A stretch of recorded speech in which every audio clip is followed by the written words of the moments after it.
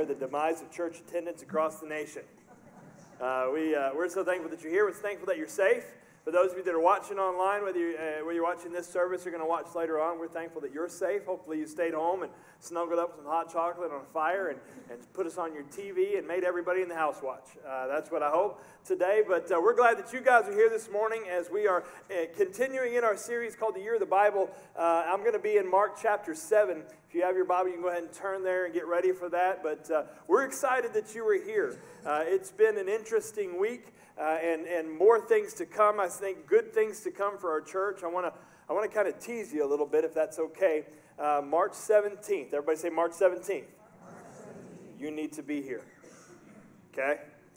That's the tease. All right, I'm just kidding. Um, I also need, if you haven't signed up for baptism and you know that's your next step, please go do that and be back here, eh, or do that at the Life Connect counter as you leave today and that way we can kind of get you set up, get you ready to go, ready to roll for baptism. We're going to be doing that on the 17th, but we've got a whole bunch of other stuff that we got planned for the 17th that I can't wait to share. So be watching on Facebook. I'll be giving the full announcement next week, and so that way you'll be ready for it. But how many of you are glad it's March? Say amen.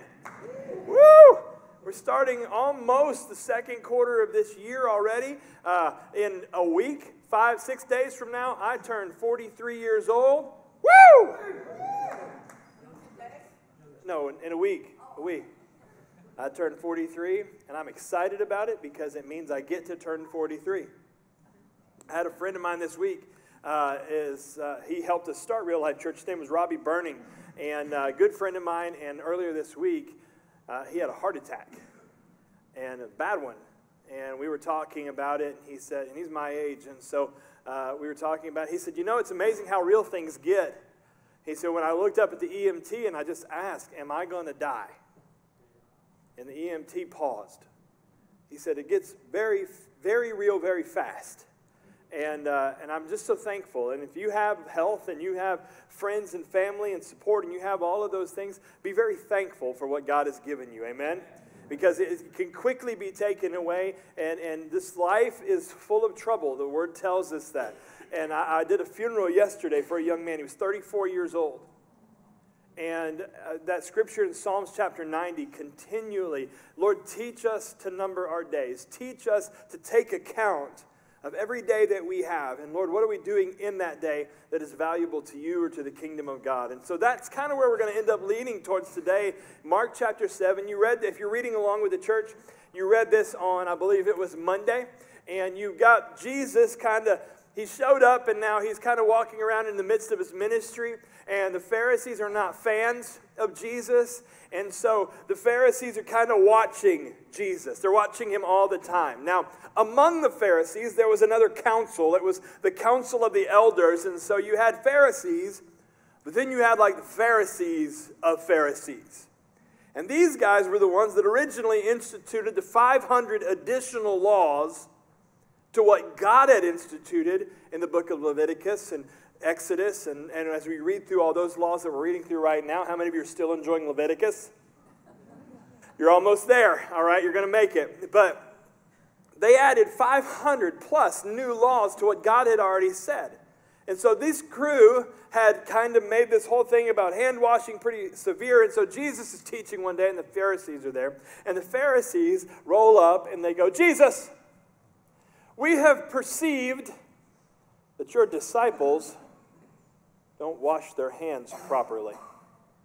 Now, how many of you, if you get a chance to ask Jesus a question, if you have a moment with the Savior, they had already seen miracles occur in Jesus' life. They'd seen the sick healed, the lame walking, the blind seeing, the dead rising, the multitudes fed. They had seen things like this, and the question they come up with is why aren't they washing their hands? Seems a little shallow, right? I hope that if you and I, or when you and I get to see Jesus face to face, if you have a question for him, it is not about the hand washing principles that you encountered here on earth, but that's what they ask him. And so Jesus goes into this passage that we're going to read today in Mark chapter 7.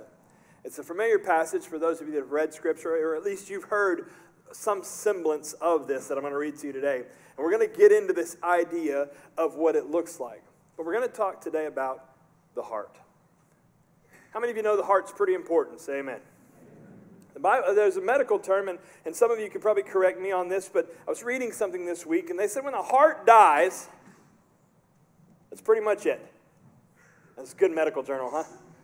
But how many of you know that if the heart's not doing anything, it doesn't really matter how healthy the rest of your body is? You can be amazing, you can be an Olympic athlete, and if your heart dies, it doesn't matter how fast you can run the mile, how high you can jump, or how far you can run. You're just done if your heart dies. It's a pretty central organ. It's pretty important to what we are. Well, let me just tell you, it is extremely similar in your spiritual life. The heart of man is something that is crucial. In fact, I will tell you that every way that you respond, that you react, any way that you give feedback, any way that you process an ask or a or request, all of those answers come from your heart. The Bible says in one scripture, out of the heart the mouth speaks. So what comes out of your mouth is actually coming from your heart. You say, I don't know, Vince, sometimes I say some bad things. Well, then you probably ought to check your heart. And that's what Jesus goes into with these Pharisees because they start bringing up this thing about hand washing. And so in verse 14, Jesus picks up and he says this. And he called the people to him, and again he said this Hear me. He's getting everybody close. And when Jesus says, Hear me, in Mark chapter 7, verse 14, he wants to make sure he's getting everybody close. Hear me, all of you, and understand what I'm saying. I'm about to drop some knowledge on you. I'm about to give you something that's pretty important for you Jewish people to hear. And I would say this today. I think God wants to give those of us that are here something pretty important. If you call yourself Christian, if you call yourself believer, if you know that you're a child of God, then today's message is pretty important because it deals with the heart. And Jesus, just like then, is now saying, listen close. Listen close. He says this, verse 15 There is nothing outside a person that by going into him can defile him. But the things that come out of a person are what defile him. The things that come out of you are what defile you. Now, he said that, and everybody kind of looked there quizzically at him.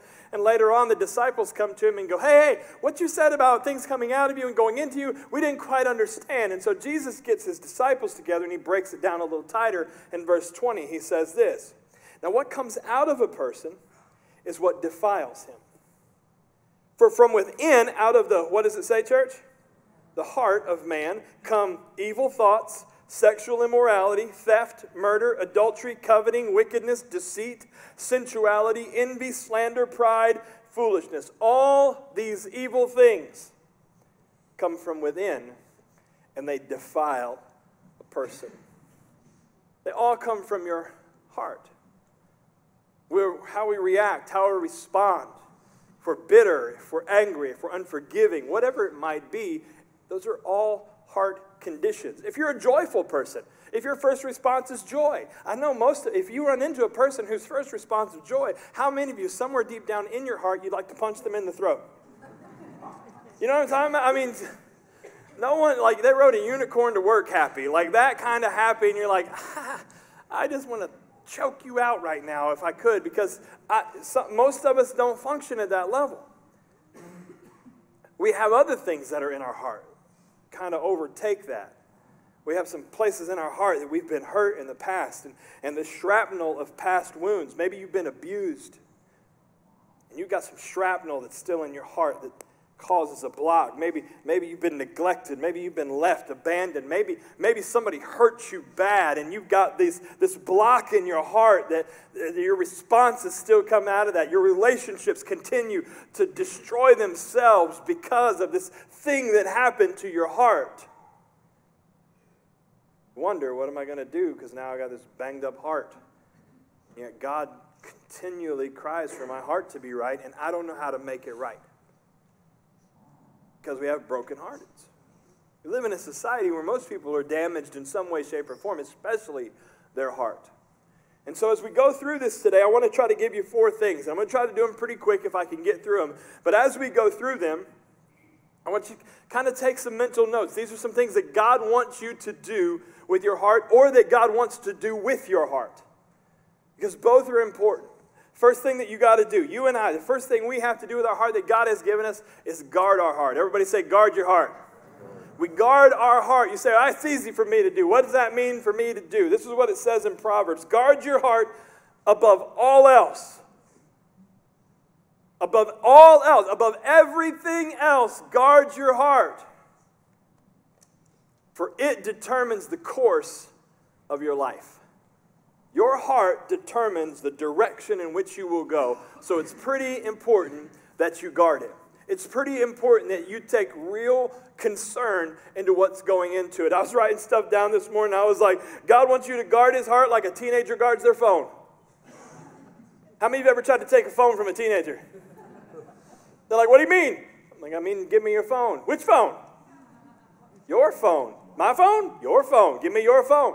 Hey, you got a passcode on your phone. What's the passcode? I don't remember. It's your phone. I know it's, I forgot it. I don't know what it is. I can't remember what it is. Is it your birthday? No. No, well, it's got a fingerprint. Go ahead and put your fingerprint on there. They put their fingerprint on there because it didn't work doesn't work. I, I don't guess it works. Oh, maybe it's not my phone. That's because they use their elbow instead of their finger, and that's how they get in their phone. Some of you parents are like, oh, I just figured it out. It's amazing how much they guard it because they don't want you to have that information. They feel like it's their information. Well, the reality of guarding your heart is the same way that God is going, man, I've given you something great, this heart of Christ. At salvation, I gave you this new heart, and I want you to guard it. I want you to protect it. I don't want you to let any garbage come in at it. And yet, yet we struggle. say, well, yeah, but Vince, you know, guarding your heart, what does that really mean? Let me just kind of give you this. How many of you ever bought a new car? How many of you, when you bought that new car, you were really concerned about where you parked at Walmart? Right? You will walk 27 miles to the front door of Walmart so nobody jacks with your car right? You don't want to bang, oh no. Now you got this little black mark on your car because somebody that's in a 1976 Volkswagen beat up piece of junk. You're like, why'd you have to park next to my car? You park it out here because it's new and you want it to stay new and you protect it. But after time, you then you like sliding into handicap spots illegally. I see you. I know. And if I don't, God does. So you need to stop it, all right? But you park, you park anywhere because the new has wore off. Guys, Christians, we have to be cautious of this because as believers, sometimes the new wears off. And we don't guard like we once did. And God's going, guard this heart because it's a heart I have put in you. And it's something I want you to protect. And so you got to keep the influences out of there. If something is leading you down a path that you don't need, then you need to be guarding against it. Guard against temptation. Well, Vince, I'm going to be tempted. When I was younger, I can't remember how old I was. I think I was maybe about five, and Dad's in this service, so he can maybe correct me. But I think I was about five. I walked in the house, and I had been outside, and I walked in, and there had been a bird that flew over that had tremendous aim. And this bird went to the bathroom right on my head. You weren't there. It's not that funny, Susan. All right? Uh, it, it went to the bathroom right on my head, and I come in, and it's leaked down my forehead, and it crossed my nose. And I came in, and I told my dad, the stinking bird cracked all over my head because I didn't know the difference in the words. And I can remember that moment because I remember him preaching about it. That's what happens when you're a preacher's kid. You get infused in every sermon there is. My children know. But I can remember the lesson that he always used because it was about temptation. And about this reality that you can have temptation that comes and it shows up in your life because here's the reality you will be tempted. It's coming. You will be tempted. But the temptation is yours to either shoo away and not submit to, or to embrace and keep and fall to. And so, with the bird analogy, he said, oh, he was always telling me, he said, hey, there's going to be a, a bird may land on your head, but you have the ability to shoo it away so it doesn't stay there. So it doesn't just make a nest. You want it to go away. Temptation's the same way. Well, what is that? That's guarding your heart. That's knowing that certain situations, certain relationships you probably don't need to have, so don't have them. But I don't want to be that guy. No, really, your heart is that important. Be that guy. that you will protect and you will guard this heart that God has given you. I want to give you this quote because I think that sometimes we misunderstand this idea in regards to guarding. What God begins at the moment of salvation isn't complete in the same moment. Now, God saves you when you say, Jesus Christ, forgive me, I'm a sinner. I believe you're the Son of God, and I want you to come into my life. The Bible says if you confess with your mouth and you believe in your heart, then you shall be saved. But you are not done. God didn't save you to leave you, saved you so that you would grow. Here's what this says. You say, Well, I don't know, Vince, I'm saved. I'm good. I shouldn't have to do anything else. Philippians chapter 1, verse 6. And I am sure of this that he who began a good work in you will bring it to completion at the day of Jesus Christ. How many of you know Jesus Christ hasn't returned yet? Then we aren't done. He's still doing the work in me, and I've still got to let Him. That means I've got to guard against the temptation and the sin that comes at me so that God can continue to grow and to fill me. So we got to guard our heart, but we got to grow our heart also. Are you still gossiping as a Christian? Are you still bitter? Still holding a grudge? You still mad about it? You still unhappy when someone else succeeds? You still see that person, and when you walk by the thoughts in your head, it's probably really good that they're not verbal. because it would be sin. Let me just go ahead and clear that up for you. Whether they're verbal or not, it's still sin. And so we ought to be growing our heart. We ought to be taking our heart from where it is and growing it to something greater. The problem with growing it is things, man, that takes some work. And we don't like work. We're just not fans of it. Most people are not fans of it. You say, well, I, like, I don't mind a good day's hard work. That's fine. I'm talking about spiritual work. We don't like it because it takes a toll. And I know we live in this culture that says we got to have everything right now. We got to have it right now. I read some statistics this week. Um, 0.05% of Americans, everybody got that number? 0.05% of Americans are millionaires. Okay? In a poll, recent poll that was taken, 80% of Americans believe they're going to be millionaires at some point or another. 80% believe at some point or another they're going to be millionaires, but in reality, 0.05% are actually millionaires. We have a math problem in our country. Okay? And I don't think math is the real problem. Unreal expectations is the real problem because we're waiting to get lucky we're waiting for Powerball to call us. We're waiting for that dude from Publishers Clearinghouse to walk up with that big old fat check. We've bought magazines. We've got more than we know what to do with. But he's coming with the balloons in the Astro van. He's going to show up. Because it's going to happen to me, and I'm going to jump into that because I'm going to be this. And you have this expectation of this. Man, it's going to take a little bit of work. It's going to take a divine accident. But one of these days, I'm going to get there. I don't want you to ha- I don't want you to not have drive. Understand.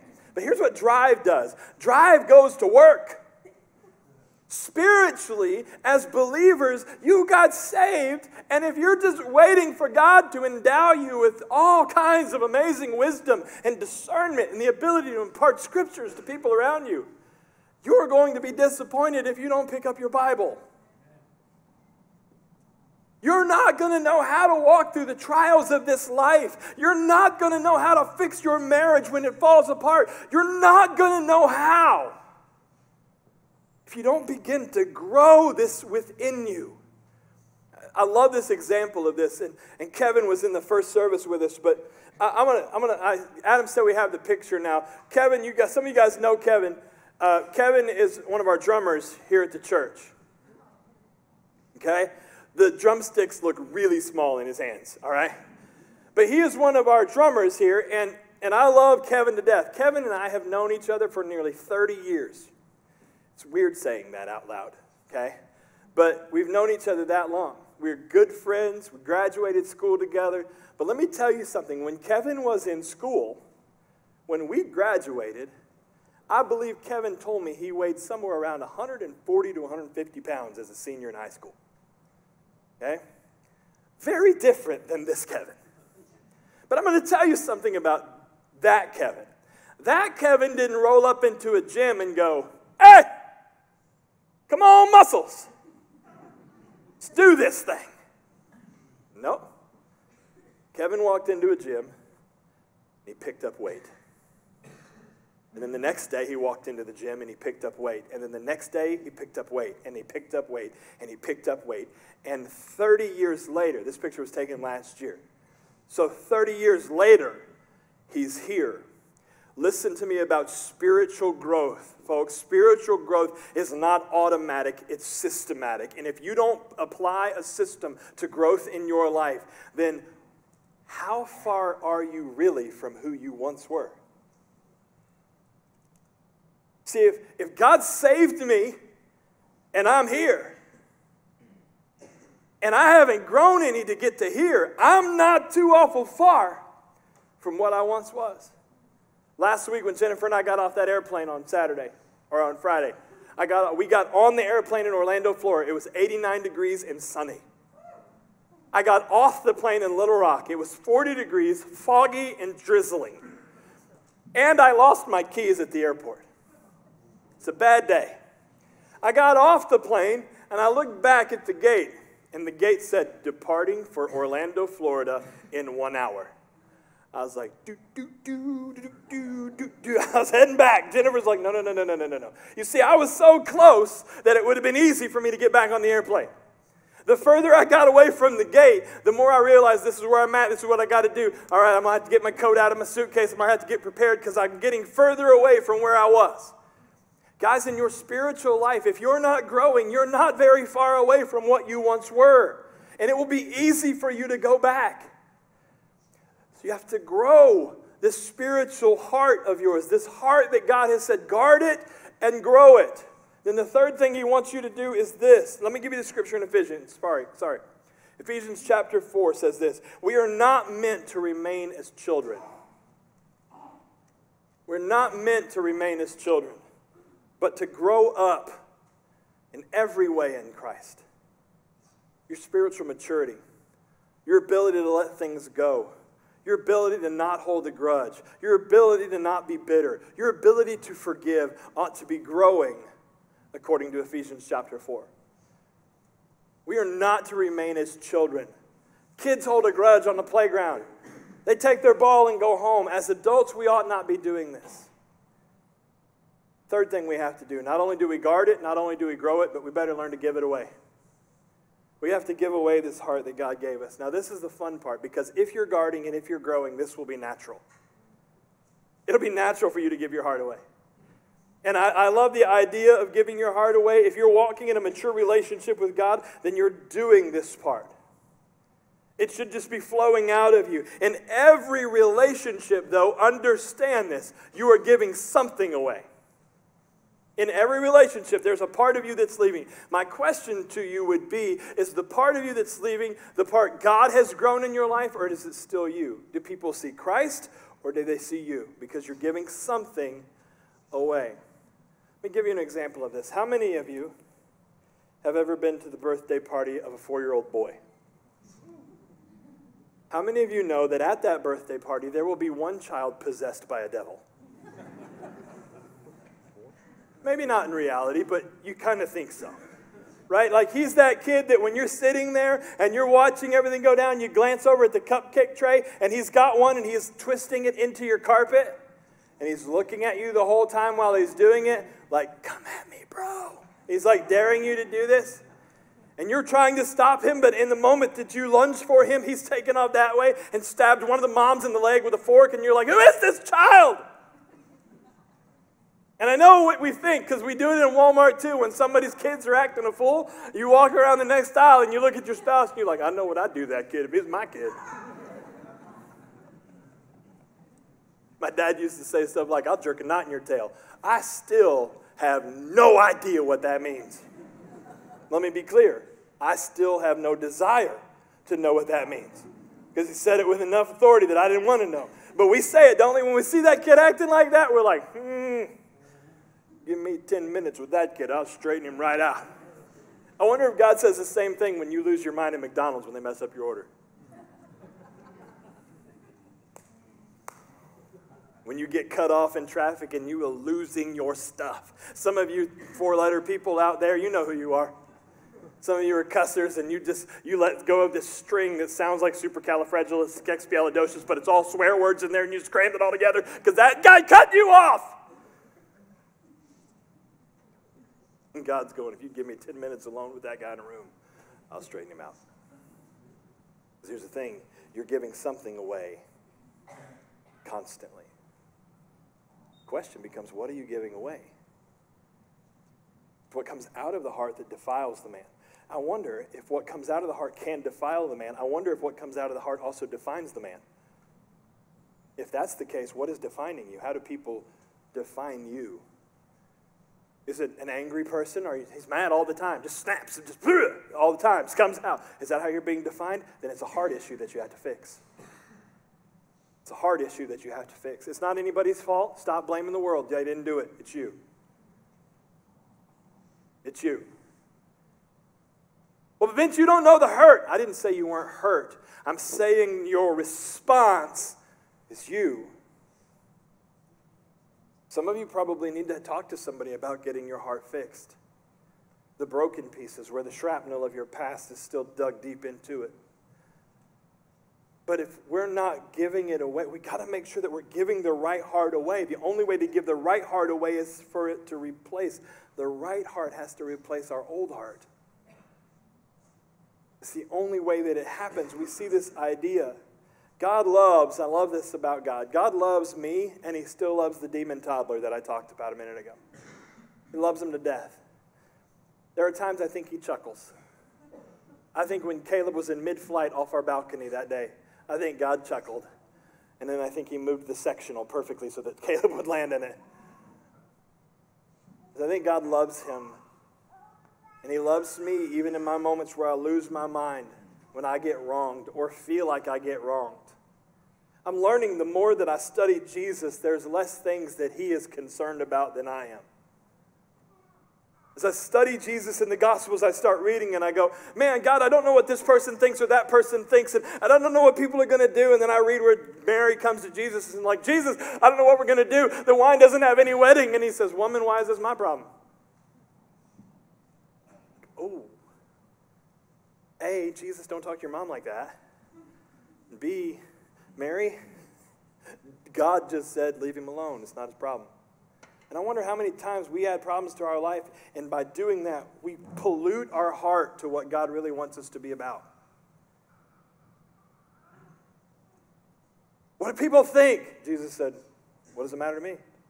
What do you mean, what does it matter to you? Jesus said, No, I'm, I'm, I'm here about my Father's business. My Father's business is to bring the kingdom here, and that's what's happened. I am bringing the kingdom of God here, the gospel of Jesus Christ. See, I got a cross out ahead of me that I know I'm going to get to. So, me worrying about what he thinks or she thinks or they think, that's not going to get me to the cross any faster. Why sweat that?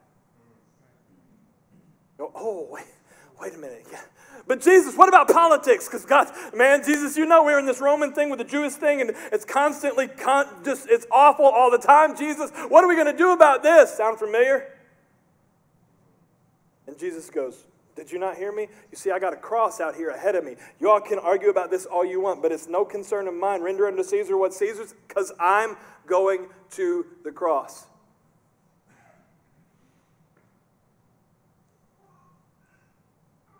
I wonder if we got more passionate about making a difference with the gospel than making a point about our political stance, how much we would do in this country.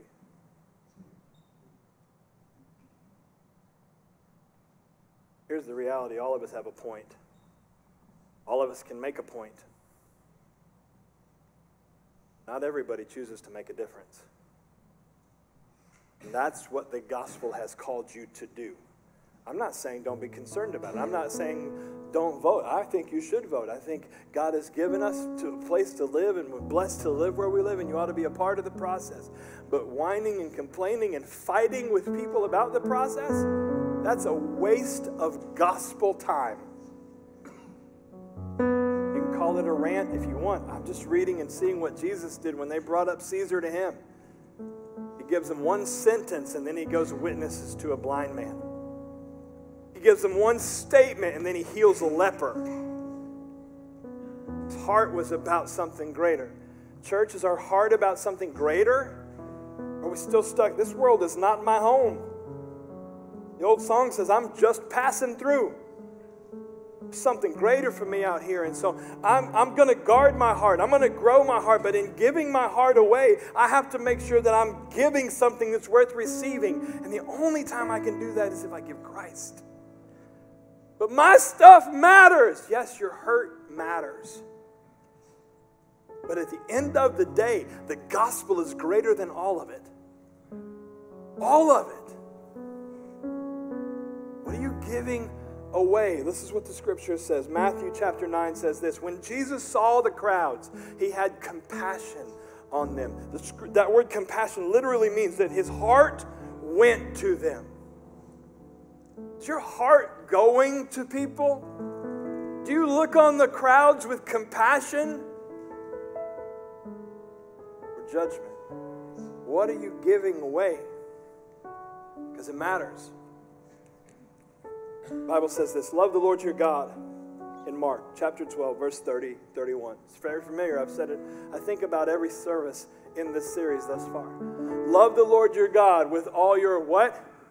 It's first get your heart right and your soul and your mind and your strength will follow. But this, this thing that defiles you or defines you comes from your heart, church. we got to get our heart right. We got to get that part unbroken. We got to get that part healed. I don't want you to ask God to help you have a good heart. I want you to ask God to heal your broken heart. Because that's where it will start. Because this is what he promises, and I love this. And I'm going to jump to the very last verse. Not, I'm not even going to give you the third, fourth point because it doesn't matter. Very last verse is found in Ezekiel. And it says this, and I will give you a new heart. I love this passage. I've probably heard it before, but I don't know if God's just renewing it or re- reviving it in my heart. I will give you a new heart and I will put a new spirit in you. I will take out you're stony, stubborn. I'm not going to ask for a show of hands of who those two words described in the room. If I ask any of you, are you stubborn? Are you bullheaded about change? Are you bullheaded about what God wants you to do? Are you bullheaded about the sin you've allowed in your life? Are you stubborn with it, going, it's not that big a deal? Have you hardened yourself? Has it gotten calloused? Some of the things you've allowed in your life, some of the, the ways you talk to your friends, the way you talk to your spouse, the way you talk to your kids, kids, the way you talk to your parents. Have you just gotten used to being that way? Then you need to ask God to remove the stony, stubborn heart that is in you. And I will give you a tender, responsive heart. Responsive heart says, God, what do you want from me? God, what do you want from me? David prayed it. Psalms 51, he says, Hey, Lord, create in me a clean heart, a new heart. Create in me a new heart, God, and renew this spirit in me. Church, we got to get our heart right. You want your friends and family to go to heaven and not hell? Because those are the only two options. I know most people, Philip, Pastor Philip and I were talking about this week. The sad part about where we live currently right now is the majority of people all believe that everyone's going to heaven. Some way, shape, or form, whatever heaven they believe in, but they're probably going there. And the reality is that that's not reality. And we've got to get passionate. We've got to get a heart for our loved ones, for our kids, for our neighbors, for our, our, our families and, and coworkers that they're going to go to hell if our heart doesn't change for them. It doesn't change for them. We don't get compassionate where our heart goes out. It's not fair.